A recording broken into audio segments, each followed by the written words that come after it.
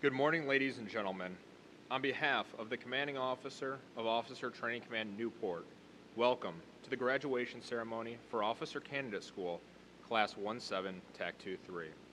Over the past 13 weeks, the class team has been responsible for developing today's graduates to serve as professional naval officers worthy of special trust and confidence.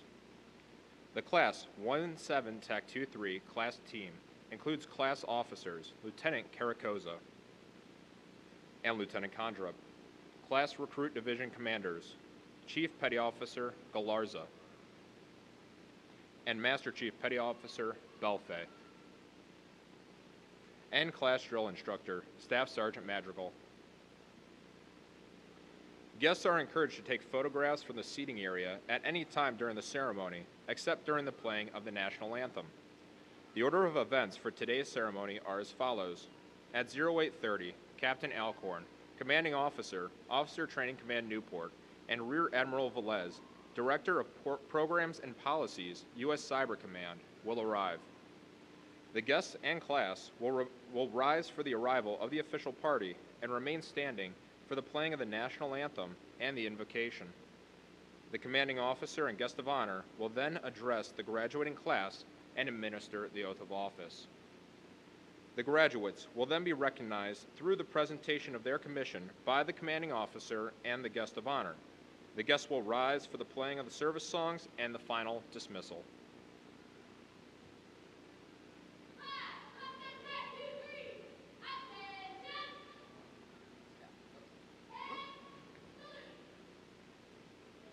Ladies and gentlemen, please rise for the arrival of the official party and remain standing for the national anthem and the invocation.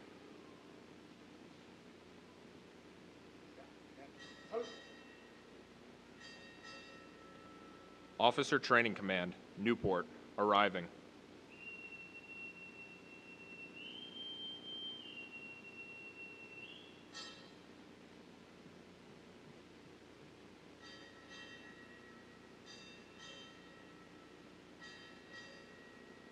Rear Admiral, United States Navy, arriving.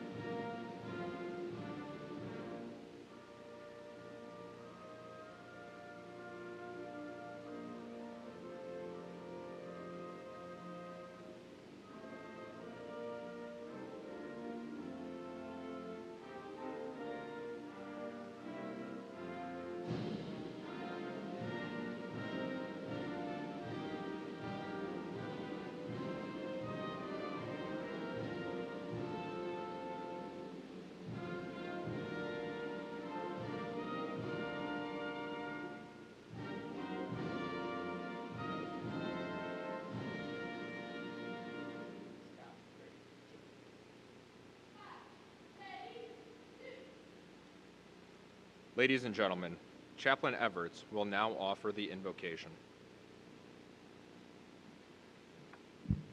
Let us pray. Eternal Father, strong to save, we give you our thanks for binding the restless waves within each of these newly trained naval officers so they could stand proud this day for becoming morally, mentally, and physically developed for the service of our fleet. As they prepare for their next evolution in their communities, remind them of what it means to be a leader and to serve with a purpose. Let them embody humility and selflessness. Remind them to value every sailor and civilian they cross paths with each day. Impress upon them the initiative, integrity, accountability, and toughness needed to do the right thing, especially when it's difficult. Embolden them to have ownership of what they are called to do when they are even, even when they are called into harm's way. So as these officers look to the horizon, prepare them for the challenges that lie ahead, giving them the physical, mental, and spiritual readiness to meet each one with confidence. And as we continue to celebrate this moment, we ask for your spirit to reside with us and all those who stand the watch this day. In your name we pray. Amen.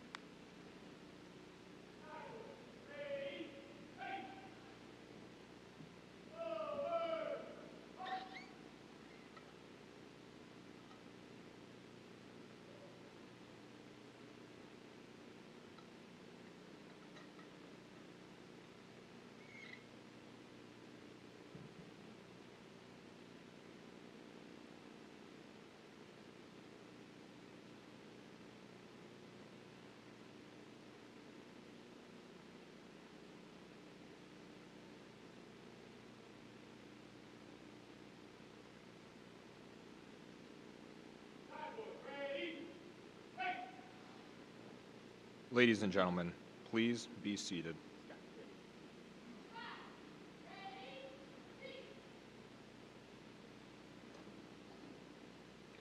Ladies and gentlemen, Captain Everett Alcorn, Commanding Officer, Officer Training Command, Newport. Ladies and gentlemen, Admiral Velez, Captain Tate, Captain Berkey, Captain Grunwell, Captain Slentz, Colonel Kogan, distinguished guests, veterans, service members, officer training command staff, family members and friends, and most importantly, soon to be commissioned officers of OCS Class 17 TAC 23. Good morning. Good morning, sir! I'm excited to welcome 64 of our newest graduates into the one of the most challenging and fulfilling careers, that of naval officer. To the family and friends joining us, I applaud you for the great work you did preparing these impressive young leaders prior to their arrival here. Your love, support, and encouragement have produced the remarkable individuals seated here. It has enabled them to make sound choices, and we are grateful to these graduates for their choice to serve. They could not have gotten to this point without the careful guidance and support of family and friends. On behalf of the Navy and a grateful nation, please accept my most sincere thank you. To the graduates here today, I am proud of each and every one of you. You all had many other options than volunteering to serve your country, yet you chose this path. I thank you for your patriotism and your willingness to serve. I assure you that a life of service holds many rewards and will bring great fulfillment. You've completed rigorous military, academic, and physical training. You've overcome obstacles. Nothing was given to you except opportunity. The opportunity to make something more of yourself, to learn, to grow, and to lead. You seized that opportunity, and today you reap its rewards. I congratulate each and every one of you for this significant and memorable achievement. It's now time to embrace an opportunity to lead what is truly the Navy's most precious resource sailors in the fleet. In the years ahead, your knowledge and leadership skills will be tested often. You will be standing watch and working alongside fellow officers and sailors around the world, around the clock. Know that you are doing significant and meaningful work for our country. Work hard, learn the warfare and professional skills of your designator, strive to be the best, and give your country 100% effort. Nothing else will suffice. The nation and the Navy expect the best from you the highest standards of personal and professional conduct, excellence in leadership, and a strict adherence to the Navy's core values honor, courage, and commitment. I applaud your accomplishments and perseverance. You're about to embark on a great adventure, one in which I hope you find professional success and personal fulfillment. It will be unlike any other job you have ever had, and regardless of how long you serve our nation, it will most assuredly be a time in your life upon which you will look back with much pride and satisfaction. Congratulations to each and every one of you. I wish you fair winds and following seas. It's now my privilege this morning to introduce you to our guest of honor, Rear Admiral Dennis Velez, Director of Plans and Policy at U.S. Cyber Command. He's a native of Adjuntas, Puerto Rico. He is a 1992 graduate of the Naval Academy, and he also has a degree from Touro University. At sea, he's completed tours aboard USS Stout, USS Carr, USS Gettysburg, and USS Donald Cook. He served on afloat staffs with Commander U.S. Second Fleet aboard the USS Mount Whitney, LCC-20, and the, as a deputy commander for Desron 15 in Japan. He was the commanding officer of USS Fitzgerald and the USS San Jacinto. Ashore, he served as the officer in charge of the Western Hemisphere Group Caribbean Area Coordinator. At Naval Personnel Command, he served as a Surface Placement Branchman Head, the head of the Junior Surface Warfare Distribution, and as the Captain, Detailer, and Deputy Director for Surface Warfare Distribution. He served at the Joint Staff, Strategic Plans and Policy Directorate, as the Chief of the Northeast Asia Division and Assistant Director for Political Military Affairs Asia. He was the Senior Military Assistant to the 76th Secretary of the Navy. And as a flag officer, he served as Commander for Navy Recruiting Command, and most recently as Commander of Carrier Strike Group 10, George H.W. Bush Carrier Strike Group. Admiral Velez has been inducted in the Puerto Rico Military Hall of Fame in November of 21 and is recipient of the Navy League's 2016 John Paul Jones Award for inspirational leadership. And today, a day that chief petty officers around the Navy are going to get pinned later, it is worth noting that he is an honorary chief petty officer. In February of this year, the President nominated him for a second star and appointment to the grade of Rear Admiral. His leadership is essential to the continued success of the world's greatest Navy, and we are privileged to have him with us here today to share his thoughts. Ladies and gentlemen, please join me in welcoming our guest of honor today, Rear Admiral Dennis Velez.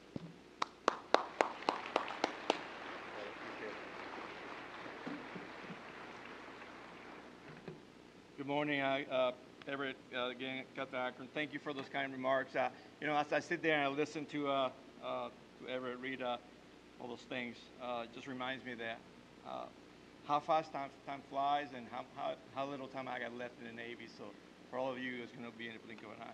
If I can ask you all to just relax, smile. This is your day, so no more. You don't have to be locked up at attention there. So you, you can relax, all good. You made it. You- you're going to be instance here in a minute.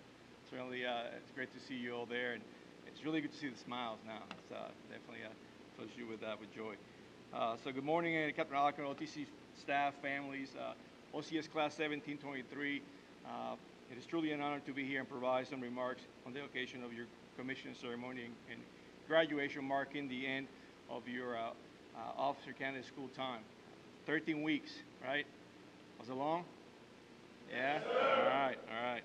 Uh, let me extend a special warm and welcome and a special thank you to uh, families and friends that are here today. Uh, thank you for, uh, uh, for your love, for molding this fine young men and women into patrons ready to serve our country.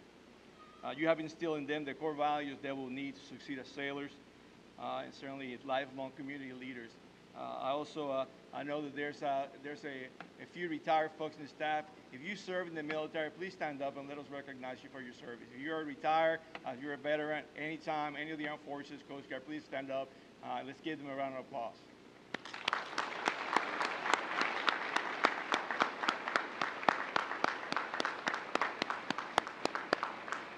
It's good to see uh, Julie Grunwell there. Uh, good to see you. It's been a few years. Among the values that uh, you help instill in these uh, young men and women are, are discipline, skill, passion, and commitment. When your son or daughter, sister, brother, or friend takes that oath today, you should feel proud of them. But you should also be proud of yourselves because we in the Navy are very proud of what you do and what you do every day. Let me thank also the Rising Ensigns for your decision to serve our country. Soon you will be entrusted with the responsibility to lead sailors in the finest Navy ever seen. Captain Ocker mentioned, it is a great Navy there here in Newport, Rhode Island.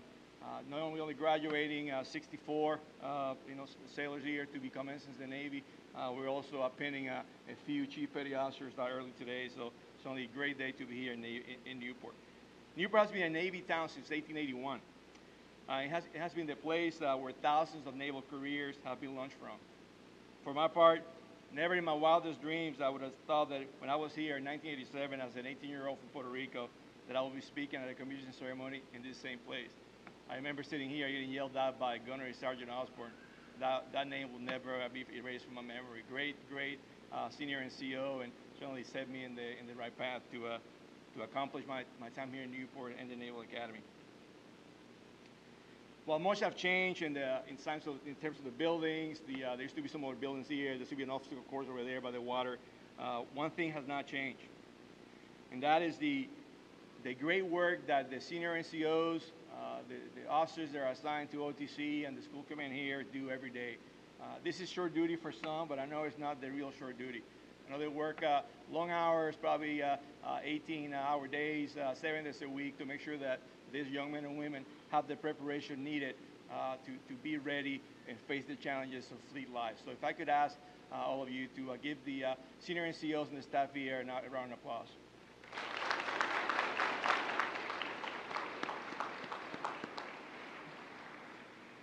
Make no mistakes, the challenges that you will face are many, no matter what community you'll be joining. Be PAO, aviation, surface warfare, submarines, supply, intel, cryptology, civil engineering, special warfare, or human resources. You will be challenged. From a recruiting crisis in our nation to war in Europe and back to great power competition with the rise in China, the challenges that you will face in your career will be many. You will be called upon to make hard decisions, to demonstrate leadership, and to think strategically. But above all, you will become part of something far greater than yourselves. The moment that you take your oath, you will become a link in that sacred chain of service. It is a chain that has protected this nation and unified our spirits in the earliest days of our republic. I took my oath 31 years ago, and it remains among the best decisions in my life. I could not imagine the challenges and opportunities that they will lay in front of me. From my earliest days, in my earliest duty stations, I learned many tools ones that I rely uh, on this, you know, to this day. I learned the importance of listening to my people, particularly my chiefs. Over the years, I also picked up a few key attributes that I saw in those great leaders I was lucky enough to serve with. For my first chief petty officer, little guy, 100 pounds from Milwaukee, Chief Pugacheski, GMC Gunner's Mate, uh, to a bear of a man from uh, New Hampshire, Senior Chief uh, Steve, uh, Senior Chief uh, Peter Lavalette to later in my times to Master Chief Fontaine or Master Chief Morer in my later years. Too many and too many others to mention. You must do the same. Be humble, positive, and inquisitive, always ready to learn and willing to listen. Give your people the opportunity and motivation to share their ideas and concerns. They'll let you know about problems and solutions long before you discover them for yourself. You must lead with empathy, Look out for your people and their families, and always bloom where you're planted. Over the years, I've learned to pick up good things I saw in other leaders. I had the privilege to serve with and ignore the bad ones that I didn't like. I never really thought much about it. You know, just there, there were certain things that I would see good leaders do. Uh, then uh, last year, when I was in command of the Carrier Strike Group, former Secretary of the Navy uh, Dalton uh, came to visit the, the strike group, say, say hi to sailors and see ourselves in deployment Spent the whole day. The, uh, Secretary Dalton is in the late 70s, still very active. Uh, you know, just a, just a great leader. Submarine officer, so he served in the Navy on submarines. And then before he left, he, he, he, chatted with me for a few minutes on the on the flight lines. He was getting aboard the helicopter, and he handed me a little card. It's a little business card. In the front was his name, Secretary Dalton, you know, 72nd Secretary of the Navy, I think it says. And in the back, it lists seven key attributes of to, to great leaders that he's picked up over the years. Uh, that card still hangs. Uh, put it on a little on a card, and it sits on my desk because it, it's a good reminder of what's what's, what's important. Uh, but I added three more attributes to that list, and, and if you indulge me today, I'm going to read you the, those 10 attributes, what they mean to me, and, and why I think it's so important that you start thinking about uh, what are those uh, good things that, that you can pick up from, from good leaders and good people of service. The first one is trusted. As a leader, you got to earn the trust of your people, both up and down the chain of command. So work hard, uh, to be trusted. Someone can look up to you and, know, hey, that's someone that I can that I can trust to do the hard things. How you do that? You do that by doing all the little things right. So make sure that you're trusted. Don't ever forget that. Take the initiative. When you get to your ship, your squadron, your your, your office, wherever it is that you're going to work, uh, take the initiative. Don't wait for someone to tell you what to do. All right? Do it on your own. Ask questions. Look ahead. Think ahead. Use good judgment. You, you've all successful individuals. You all went through college, you graduated, you're here because you competed for a slot in the United States Navy as a naval officer. So you're successful. Use that judgment uh, to continue to improve your time in the Navy. And speak with authority. How do you do that? Well, you do that by learning, by studying, by be- being the best one at everything that you do. Like the captain said, give it your 100%, and you'll be able to speak with authority. Strengthen others. Take care of your people. Make sure that they're taken care of. That doesn't mean you let them go home at you know 10 o'clock every morning. That means that you give them the right work, that you give them the right opportunities for them to advance, to feel that they accomplish a good day's work every day. Be optimistic, enthusiastic. I think that's the you know the number one role of an officer is to be optimistic. You're a leader, and the way you lead is by being optimistic, enthusiastic about everything that we do. Your sailors, folks that work for you, will look up to you for cues. If you are moping around, you know, kind of Eeyore every day, everything will be me, that's how your folks are going to be. But if you're optimistic, you're enthusiastic, they will be optimistic and enthusiastic too. So please do that every day. Never compromise absolutes. Whatever those things are for you, uh, there are a few in the Navy that you need to really understand. Uh, don't compromise on those things. Goes back to that trust. Never compromise on that. Your integrity, that's one thing that you should never compromise. No matter what, don't compromise that integrity. Lead by example. How do you lead by example? Doing the little things right, following the rules, enforcing the rules, saying the standards.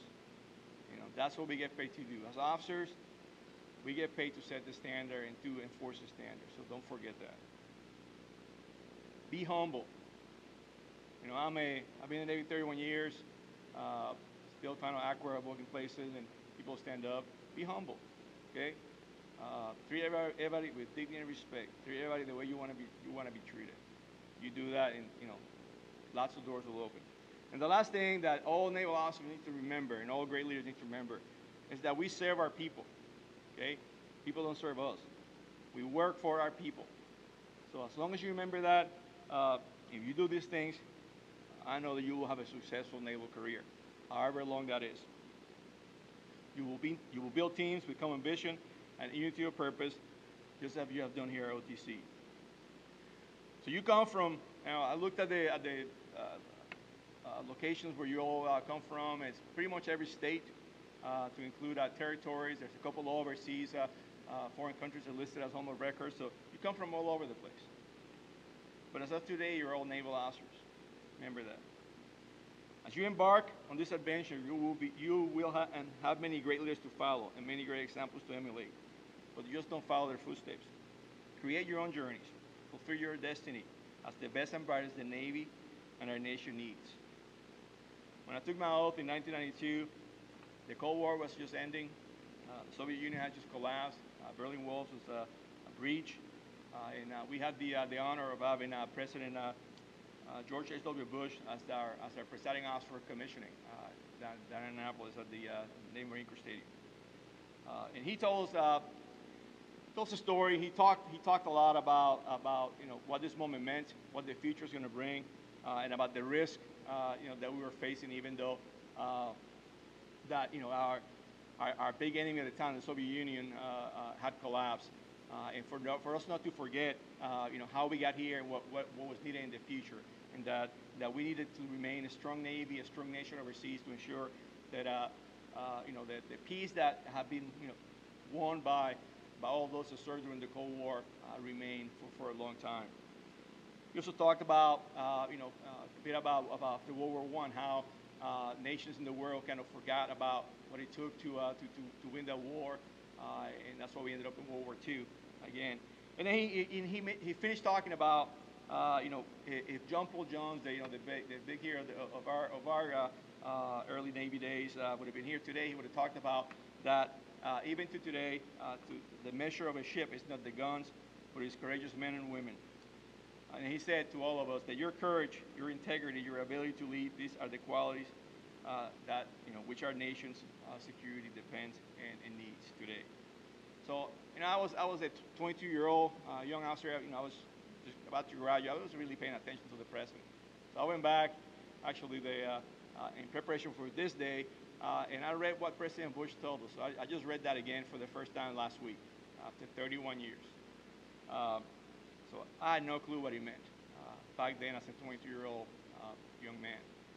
But I think now, after having served 31 years, you know, my days in the Navy are, are a lot less than all of you. Uh, think I know what he meant, and, and I'm gonna try to give you my interpretation. This is uh, Dennis Velez's interpretation of, uh, of what he meant. I think that he felt uh, immense pride knowing that he was handing off a sacred legacy to the next generation of Navy leaders. Because is how I feel. People who stood where you're sent today have gone on to become admirals, leaders, battle tested veterans. The legacy uh, you join includes national leaders, to include President Bush, who was an OCS grad, extraordinary members of the civilian community, and many others. Every one of them stepped up forward and took the same oath. Every one of them was, in some way or other, tested against that oath, as you will surely be as well tested. So remember to always live up, to your commitment. Remember what brought you here and who brought you here, because that will determine everything about where you go from here. So in closing, I want to say congratulations to the OCS class 1723. I wish you fair winds, following seas, and much success in everything that you do. Welcome to the force. Welcome to the fleet. Can't wait to see you in action. Thank you.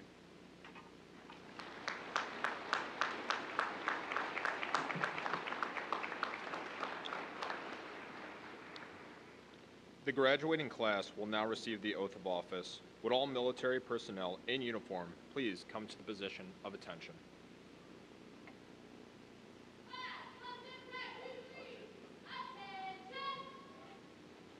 Class, raise your right hand. I state your name. I, Having been appointed an ensign. Having been appointed an ensign. In the United States Navy. In the United States Navy. Do hereby accept such appointment. Do hereby accept such appointment. And do solemnly swear. And do solemnly swear. That I will support and defend. That I will support and defend. The Constitution of the United States. The Constitution of the United States. Against all enemies, foreign and domestic. Against all enemies, foreign and domestic. That I will bear true faith and allegiance. That I will bear true faith and allegiance. To the same. To the same. That I take this obligation freely. That I take this obligation freely. Without any mental reservation or purpose. Or purpose of evasion. Or purpose of evasion. And that I will fail. Correction. That I will well and faithfully. Will well and faithfully. Discharge the duties. Discharge the duties. Of the office. Of the office of which I am about to enter. Of which I am about to enter. So help me God. So help me God. Congratulations.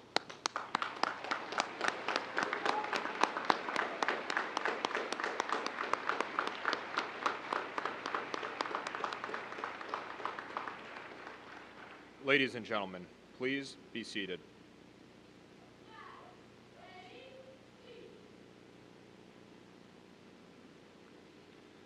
The distinguished graduates assembled will now be recognized by the commanding officer and guest of honor for their achievements while undergoing training here at Officer Training Command, Newport.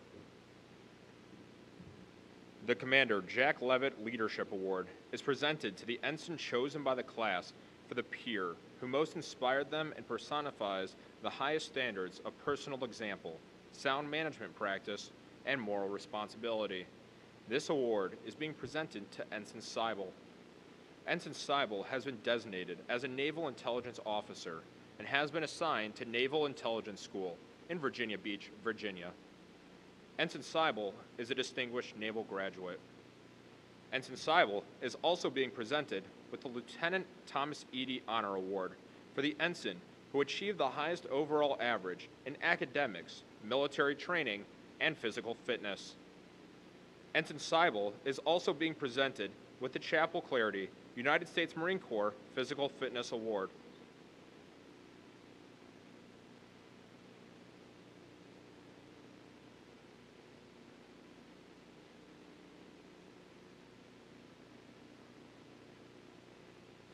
Rear Admiral Stephen B. Luce Academics Award is presented to the ensign who achieved the highest academic average.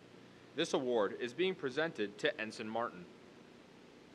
Ensign Martin has been designated as a Naval Intelligence Officer and has been assigned to Naval Intelligence School in Virginia Beach, Virginia.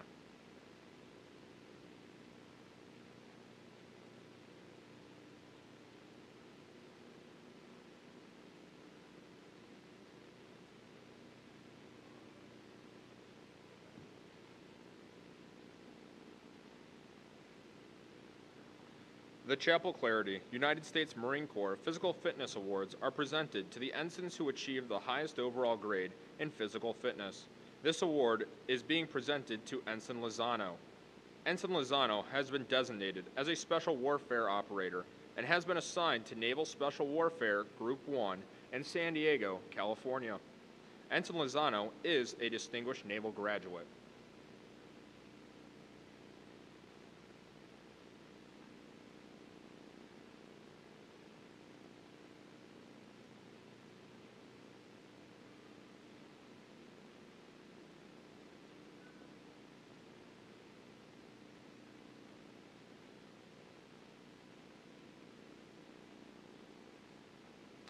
Ensign Nyan is also being presented the Chapel Clarity United States Marine Corps Physical Fitness Award. Ensign Nyan has been designated as a surface warfare officer and has been assigned to CG 67, the USS Shiloh, home ported in Pearl Harbor, Hawaii. Ensign Nyan is a distinguished naval graduate.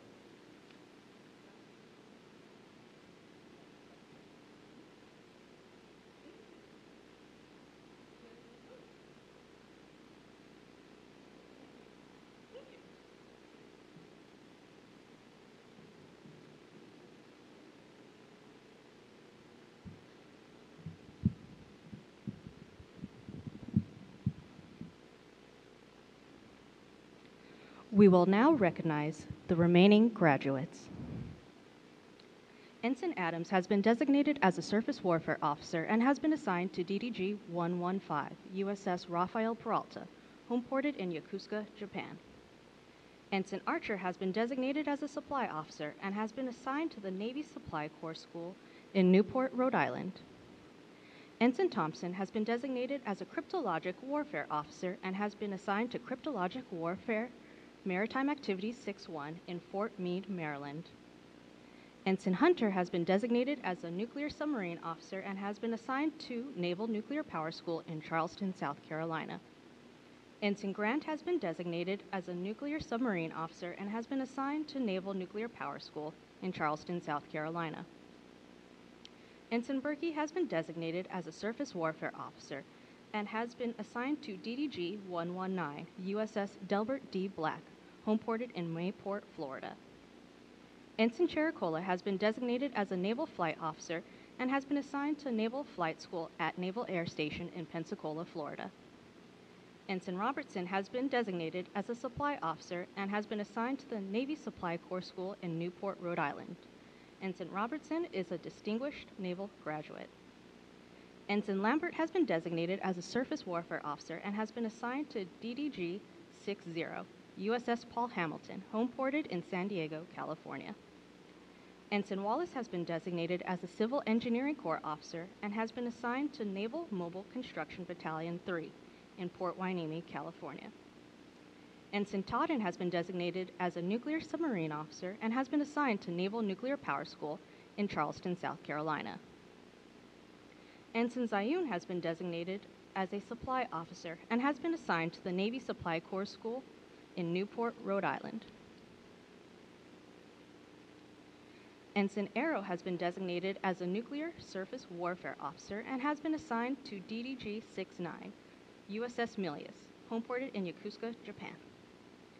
Ensign Baez has been designated as a Civil Engineering Corps officer and has been assigned to Naval Mobile Construction Battalion 11 in Gulfport, Mississippi. Ensign Batak has been designated as a supply officer and has been assigned to Navy Supply Corps School in Newport, Rhode Island. Ensign Bosser has been designated as a surface warfare officer and has been assigned to LCS 27, USS Nantucket, homeported in Mayport, Florida. Ensign Bully has been designated as a supply officer and has been assigned to Navy Supply Corps School in Newport, Rhode Island. Ensign Bully is a distinguished naval graduate. Ensign Butler has been designated as a supply officer and has been assigned to Navy Supply Corps School in Newport, Rhode Island. Ensign Carrillo has been designated as a surface warfare officer and has been assigned to DDG 62 USS Fitzgerald, homeported in San Diego, California. Ensign Chua has been designated as a Civil Engineering Corps officer and has been assigned to Naval Mobile Construction Battalion 5 in Port Hueneme, California. Ensign Cintron Ruiz has been designated as a cryptologic warfare officer and has been assigned to Cryptologic Warfare Activity 67 at National Security Agency Central Security Service in Fort Meade, Maryland. Ensign Kogan has been designated as a supply officer and has been assigned to Navy Supply Corps School in Newport, Rhode Island. Ensign Cole has been designated as a surface warfare officer and has been assigned to DDG 87 USS Mason, homeported in Mayport, Florida. Ensign Dick has been designated as a cryptologic warfare officer and has been assigned to Maritime Activity 61, Fort Meade, Maryland. Ensign Dominguez has been designated as a cryptologic warfare officer and has been assigned to Navy Information Operational Command in Kunia, Hawaii. Ensign Epling has been designated as a nuclear submarine officer and has been assigned to Naval Nuclear Power School in Charleston, South Carolina. Ensign Esser has been designated as a nuclear submarine officer and has been assigned to Naval Nuclear Power School in Charleston, South Carolina. Ensign Eugenio Guerrero has been designated as a surface warfare officer and has been assigned to LHA 7 USS Tripoli, homeported in San Diego, California. Ensign Field has been designated as a public affairs officer and has been assigned to Navy Public Affairs Support Element East in Norfolk, Virginia. Ensign Hendricks has been designated as a surface warfare officer and has been assigned to DDG 71 USS Ross, homeported in Norfolk, Virginia. Ensign Jackson has been designated as a nuclear submarine officer and has been assigned to Naval Nuclear Power School in Charleston, South Carolina. Ensign Jacobs has been designated as a nuclear submarine officer and has been assigned to Naval Nuclear Power School in Charleston, South Carolina. Ensign Jaworski has been designated as a nuclear surface warfare officer and has been assigned to DDG 119 USS Delbert D. Black, homeported in Mayport, Florida. Ensign Jenkins has been designated as a supply officer and has been assigned to Navy Supply Corps School in Newport, Rhode Island.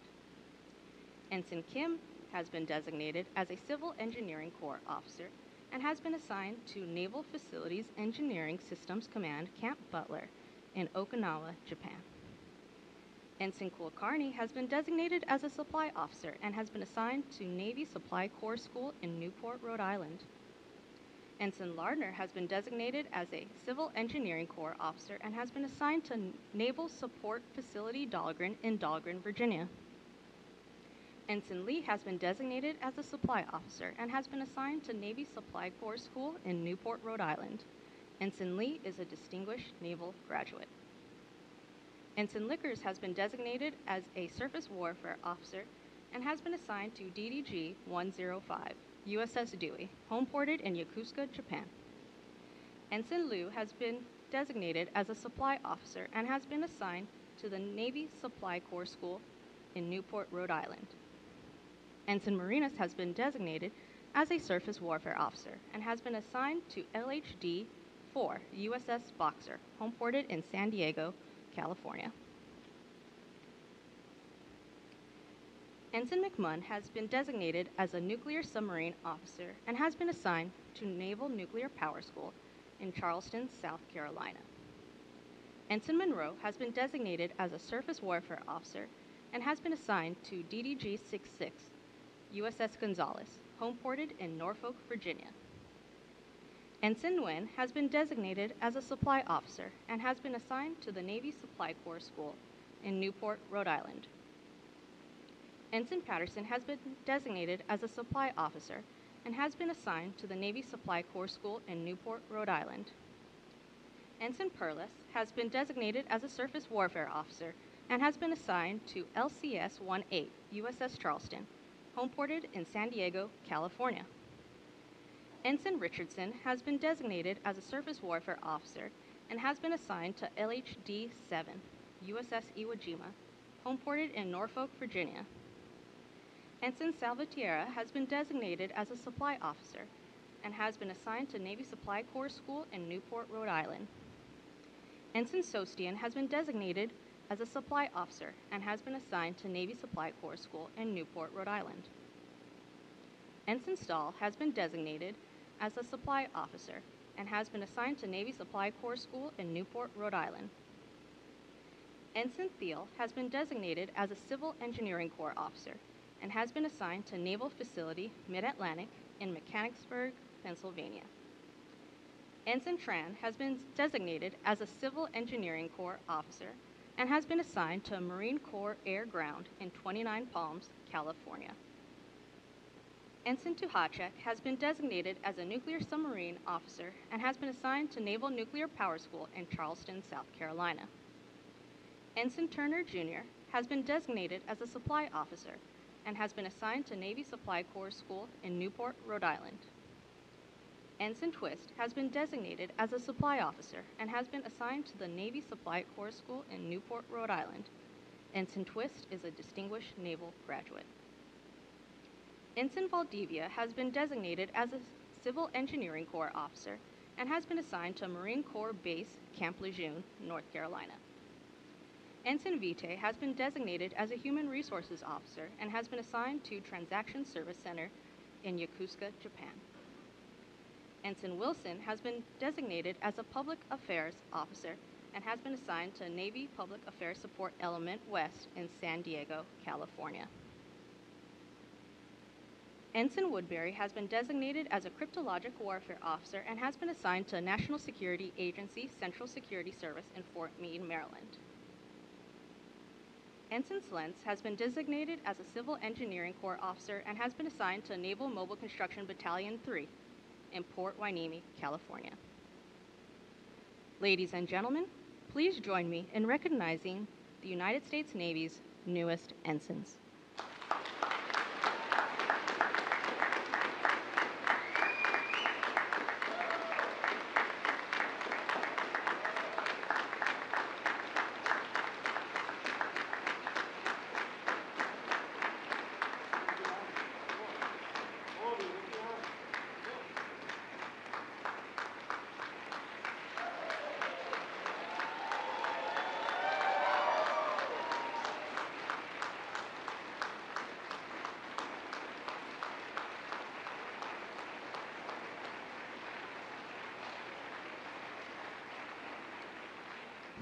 Rise for the playing of the service songs and the final dismissal.